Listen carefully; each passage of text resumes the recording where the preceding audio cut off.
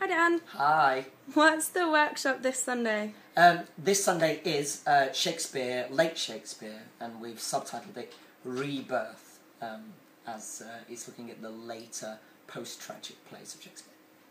And what sort of thing will you be covering? Okay, so we're starting with the um, the Roman, the later Roman plays like Antony and Cleopatra and Timon of Athens, um, and uh, we're watching what happens when the tragic shape of the plays just before slowly breaks down, and there's the possibility of redemption for the central character, which then emerges through Pericles and The Winter's Tale, and then of course the Great Tempest at the very end. So we're we're looking at that kind of third age of Shakespeare's plays after the tragedies, these late romances, um, where the there's a kind of great both complexification, but also a simplification and a kind of um, boiling down of the language and the structure.